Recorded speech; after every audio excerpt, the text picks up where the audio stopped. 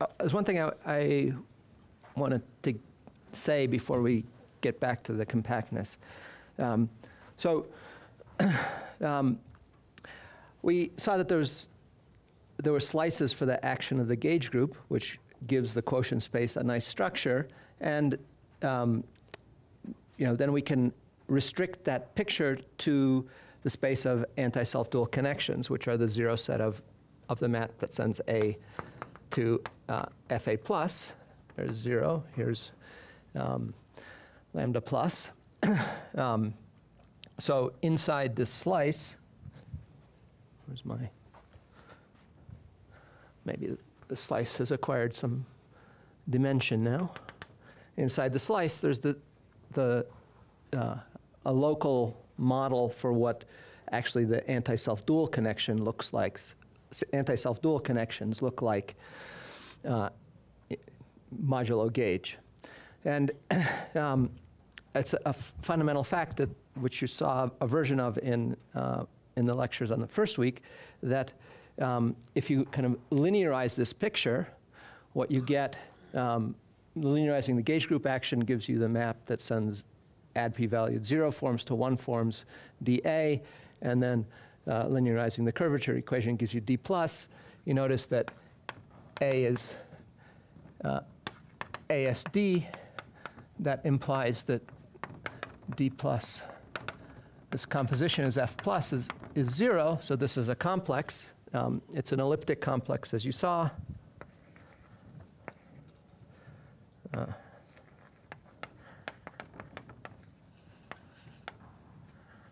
and it, its, its index, well, I'm going to write its negative index um, index is the alternating sum of the dimensions. We're really interested in the dimension of h1, so minus the index, and it's uh, 8k minus 3 halves the Euler characteristic of x. So this is in the case of a closed manifold, or uh, 8k minus 3 times 1 minus b1 plus b plus. So, um, so this picture kind of gives you, I mean, in per, so this is an elliptic complex. Um, in, in particular, this tells you that uh, if I restrict to the slice, then the curvature map is a nonlinear Fredholm map, and that gives you a, a, a, nice package of stuff that tells you that the moduli space is locally, uh, maybe at least finite dimensional. If it's surjective, differential surjective, then of course it's a smooth manifold um, of some dimension, dimension given by this formula, at least if the connection you're looking at is is irreducible, has no stabilizer. Okay, so that's something I maybe should have said a little bit earlier in yesterday's lecture. Um, I want to go back to now to Uhlenbeck's fundamental lemma. I'm not going to prove it, and I've stated a slightly a slight generalization of it. Um, so the statement I said at the end of the last lecture was the case where I just looked at one connection that had small curvature. But the, it's easy to prove using the same techniques. I'll say a little bit about that that if you take a pair of connections, each of which has small curvature, so there's some uh, bound that Uhlenbeck's argument gives you, uh, epsilon, uh, then, well, um, well, you can put both of them into this good gauge, Coulomb gauge with this boundary condition. But the interesting thing about looking at a pair of connections is that you can prove that the difference um, of the L21, the L21 norm of the difference of the connections is controlled by the difference in the L2 norms of the curvature. So last time I, the, the statement I had last time was we're, say A2 is zero. So we're just saying that the L2 norm of the curvature controls the L21 norm of the connection in the good gauge. Here we're saying something slightly sharper, and we'll see that that has a nice uh, consequence. But let's, uh, uh, again, I'm not going to prove that in detail, but uh, just go through one part of it. Um, so a, a, a, lemma on the way to the proof to kind of get you a feeling for what's special in dimension four, et cetera, is that, um, well, Uhlenbeck's lemma holds if we assume, um, actually, let's call this let's call these one and two. So we're going to assume 1, that we've already got it in a good gauge, and uh, instead of maybe 0, instead of 0, we're not going to assume that, we're going to assume something stronger.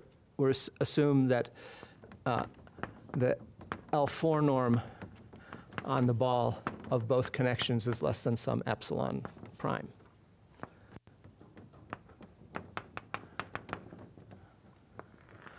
Then um, that implies that 2 holds. Okay? So um, just to um, get you some feeling of why this lemma is useful in proving Uhlenbeck's theorem, well, if you have control over the L21 norm, uh, so in, in dimension 4 or less, uh, that L21 norm, L21 embeds into L4.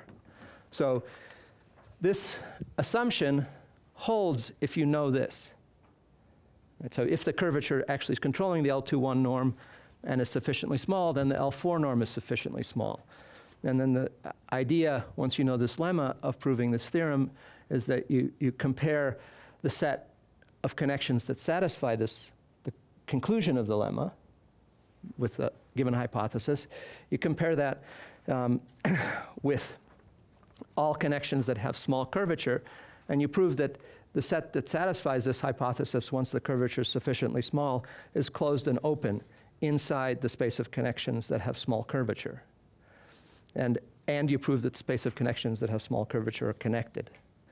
So all of them satisfy it. So the, somehow, you know, the, there's a, a thoughtful argument that goes from this lemma to proving both statement. And, um, you know, we'll see in this lemma where we use this. So th- this is just a, a straightforward uh, computation um, exploiting the fact that, um, so we, we need to know that if we integrate over the fo- four ball, d plus d star of uh, a, or doesn't matter what the dimension is, then this is equal to the covariant derivative squared uh, plus um, uh,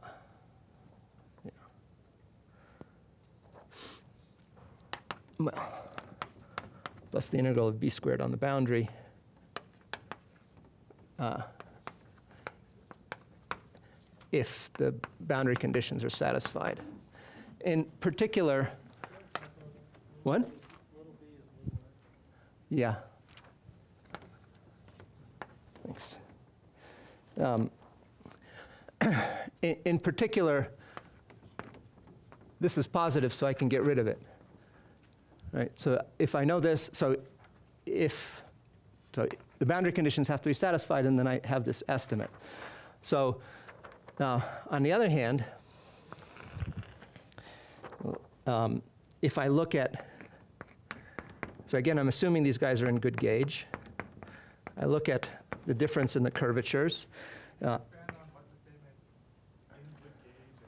in, in good gauge, this is one. That's what everybody ha- has called it forever. You know, it's a good gauge, it works. Why is it the gauge? Oh, well, you know, that's, so you have to ask Greg. Um, I, would I would call it a gauge fixing condition. Um, maybe Greg would call it that, but that somehow, you know, physicists are much less careful about language than we are, sorry. And um, it's true, and, you know, we've adopted that language. I mean, it's, this is a gauge fixing condition. Um, you know, it, it's just meaning, just means that we're taking a slice. That's all it means, right? Um, anyway, this one. Right, so there, there's another term. I mean, if you write, this is sort of the Weitzenböck formula on a manifold with boundary. There's another ter- boundary term, in fact. Well, the ball is flat, so there's no curvature term. There's another boundary term which vanishes under the uh, boundary condition assumption. Okay, so it's particularly simple. Sorry. um, actually, let me, I don't want to do the calculation here because I'll run out of room.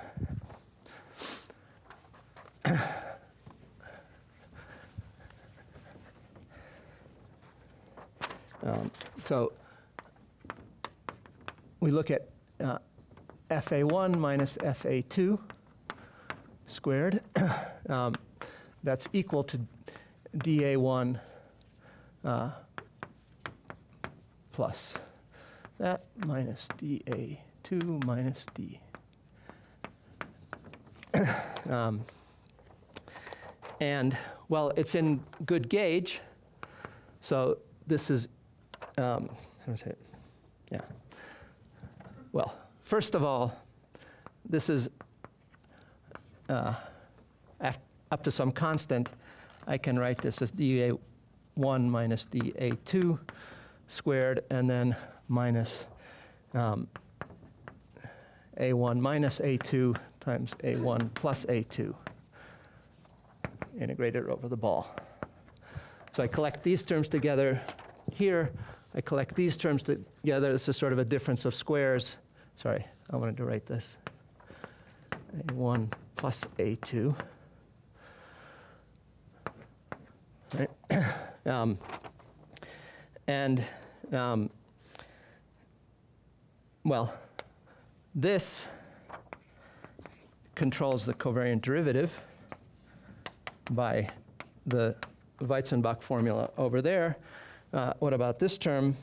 Um, well, uh, we use uh, Cauchy-Schwarz inequality, and we get that. Um, I write this? Uh, yeah. So a1 minus a2 L4 squared times a1 L4 squared plus a2 L4 squared. And here, here you see that the, sorry, here you see the L4 norm coming in to, to play. I mean, this, you know, um, when we apply the um, uh, Cauchy-Schwarz inequality, Holder inequality, I guess. Anyway, so we're assuming these guys are small, right? Um, and this is uh, controlled by the L21 norm up to some constant, right? So um, what we learn um, is that this stuff we can control by the L21 norm uh, times some epsilon that sucks a little bit away from this guy. The, L2, the, the, covariant derivative of the difference controls the L2 norm of the difference as well, as you can check easily, and that means that this is greater than or equal to some constant times A1 minus A2 squared plus A1 minus A2 squared. That, that, that's it.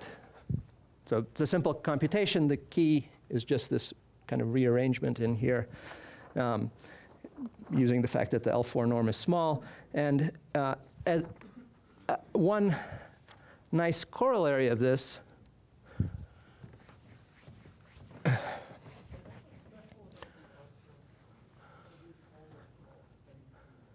What? I could, have, I, could, I could have used stronger norms. I couldn't have used weaker norms in dimension four. The, whole, the, the, the key thing is that I was using this bound, right? Which is true up, into, up until dimension four, and then past dimension four, well, it, does, it just doesn't work, right? Um, okay, so um, now a, a, nice corollary of this is that if I look at um, I look at, look at the space of small curvature connections in a slice.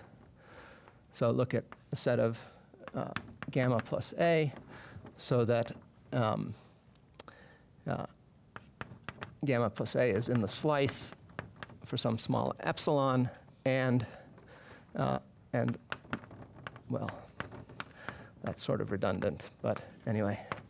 Um, then the curvature map uh, mapping to two forms on the ball. Uh, so I think of this with, th- this has, um, this is in the L21 topology. So let me state this. This is L21 topology, L2 topology on the ball, values in SU2. Uh, This is a proper map.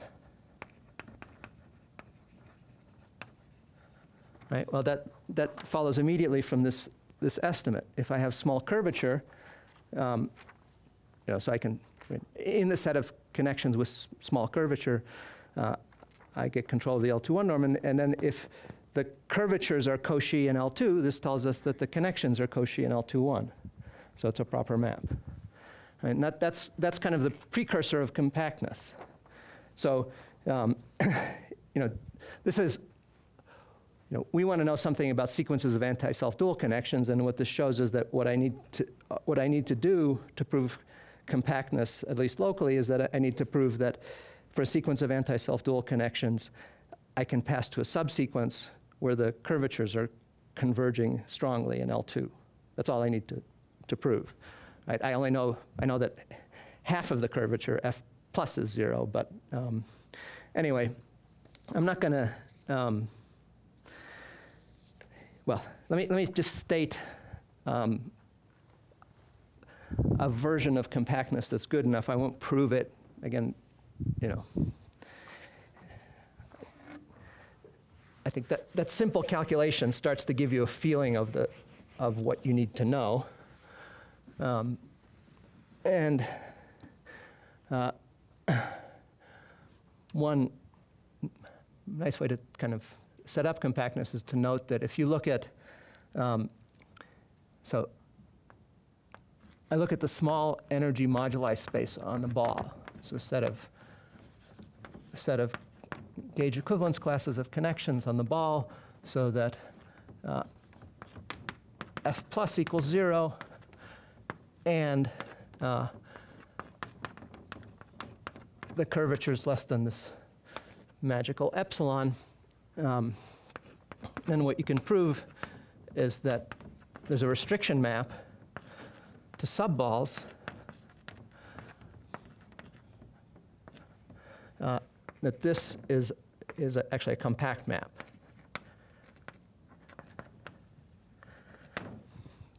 And several different ways to prove this. I mean, you, can think of this, and the sort of maybe most standard way to prove this is to just show that once you uh, put connections, anti-self dual connections in a good gauge, then on subballs you have control over higher norms, and then this would follow from the Arzelà-Ascoli theorem.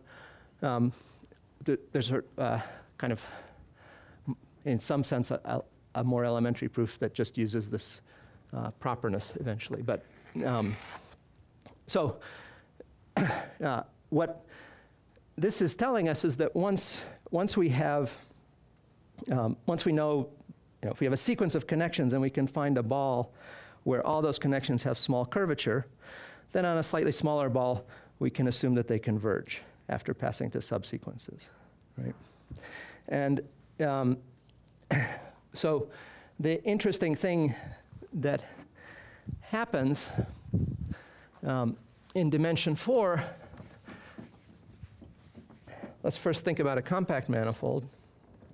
So let's take a sequence of connections. Uh, so ASD connections in a principal bundle P. So first of all, uh, the energy of the AI is always, you know, it's this uh, uh, with our conventions for 4 pi squared uh, k. So it, it's bounded uniformly. And um, then what we do is we cover, uh, did I say what my manifold was called? Maybe X by balls of some, you know, fixed size. So here's X. And we want to do it carefully, uh, so fixed size, but so that uh, the, um, you know, we, we want to make sure we choose the cover carefully so that uh, no point, you know, there's a, there's a uniform bound for the uh, number of balls that meet any point, right? So, uh, so that, uh,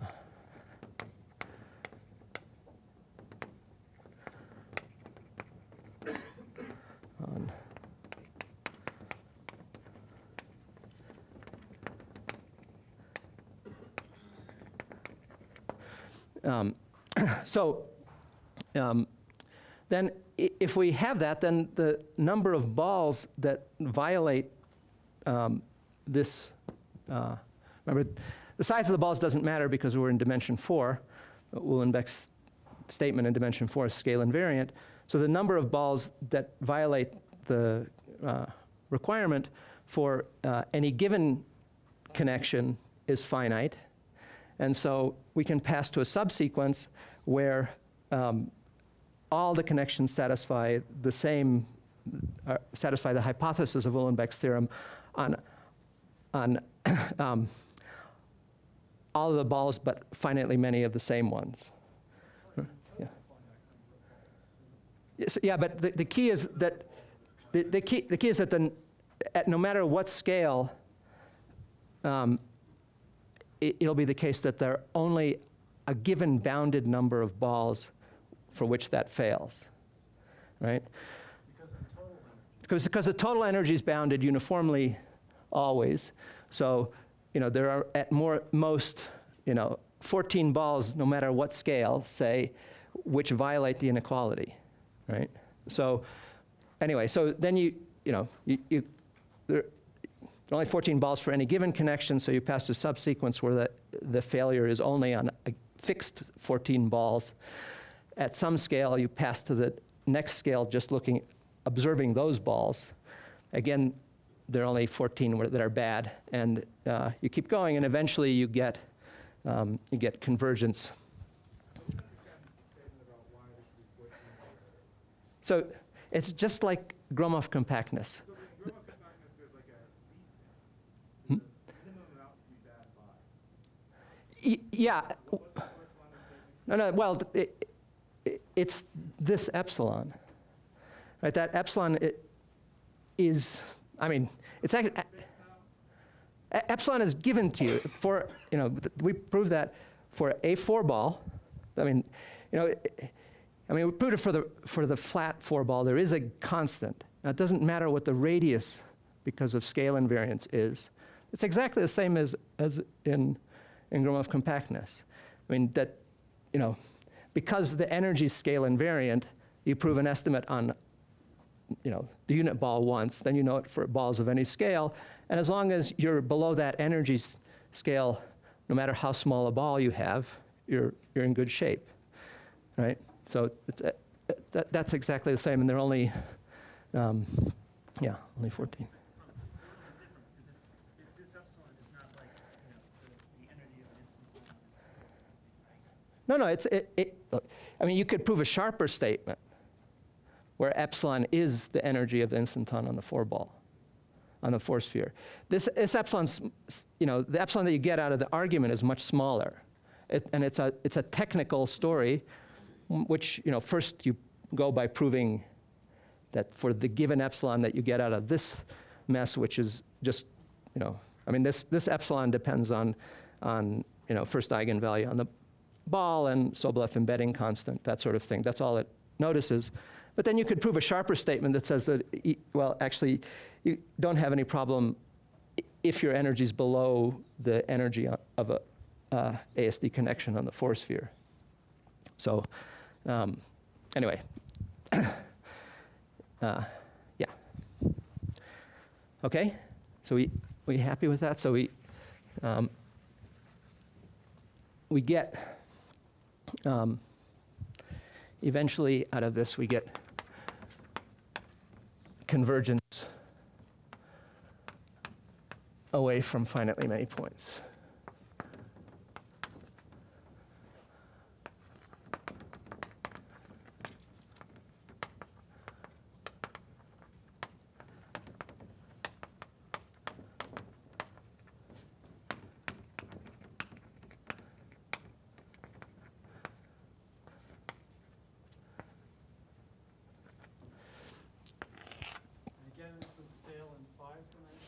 Yeah.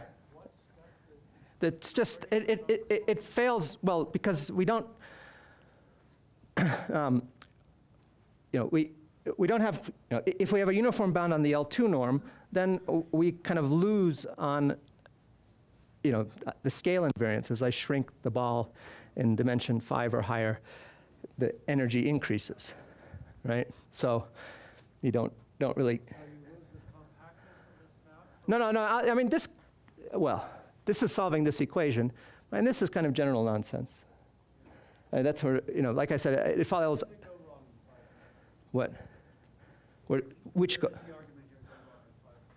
it, it goes wrong here. There's no, because we don't, that, that epsilon doesn't, you know, it's, it's not scale invariant. The size of the ball matters, right?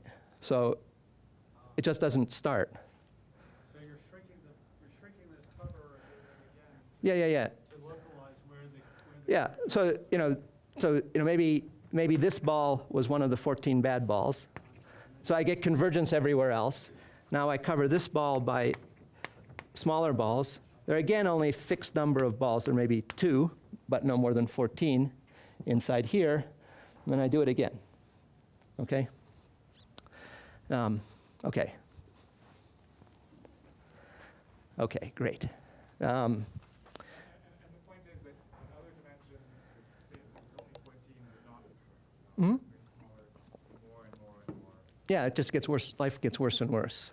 I mean, it, you know, like I said, th- there are statements you can prove in that context, and the statements are, are they're trickier.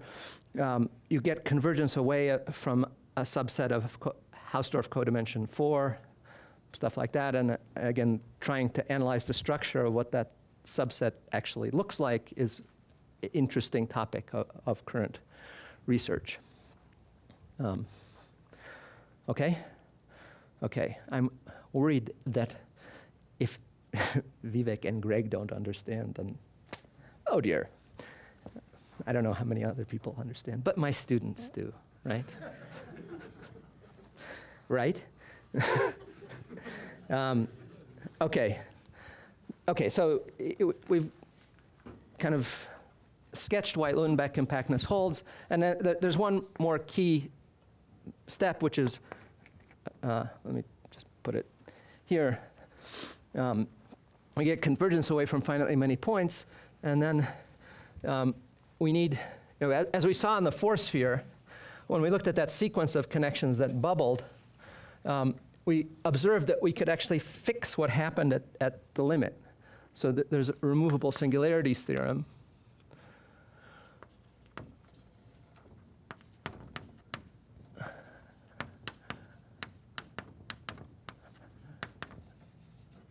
So if A is ASD on the punctured four ball and um, um, you know, it has finite energy on the punctured four ball,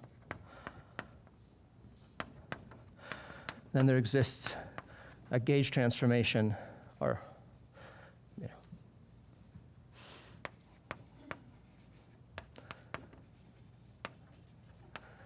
G from the punctured four ball to G so that G star A extends to an ASD connection. And so G need not extend. As we saw in that example, that the, the, the gauge transformation that does this job may not extend over the four ball. So what this means is we, we have this sequence of connections. They're converging away from a finite set of points. We get a limit, which is defined away from that finite set of points.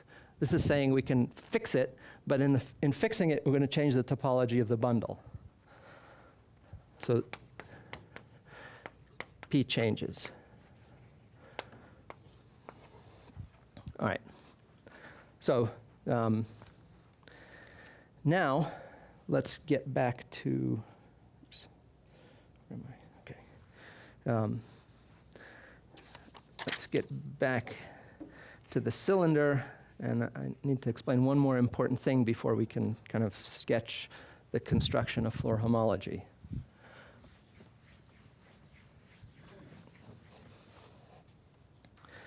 So, uh, so now let's think of r times y. Um, and um,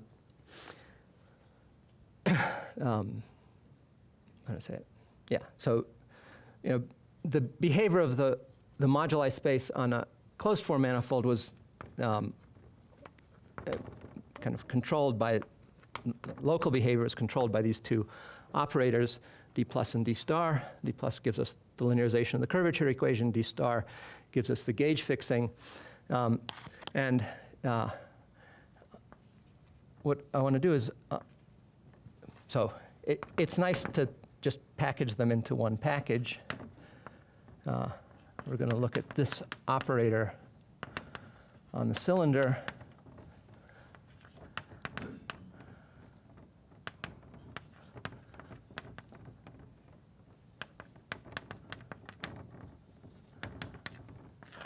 And um, let me tell you what it looks like. Um, so we're.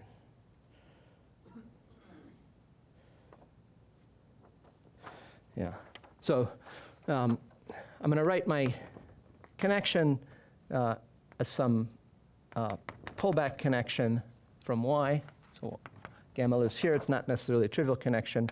Uh, plus uh, a one form, time dependent one form on y, plus a time dependent zero form times dt. So I can write any one form as a bit with it out a dt component and a bit with a dt component. I, I choose to do it that way.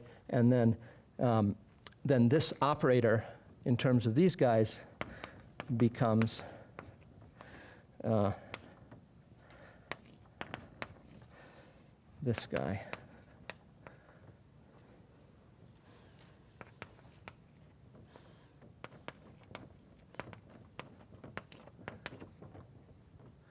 uh, BC. So BC goes to, okay, so i i on the cylinder, I'm, I'm gonna, I wanna write it in this particular form. What's important about this form is, first of all, it, it it's, looks like d by dt plus a self-adjoint operator. This is self-adjoint. Um, you, you looked at, one of the homework problems was to look at this operator on the three torus, and you observed, I hope, that its spectrum was infinite in both positive and negative directions. Now, um, if you look at, sorry,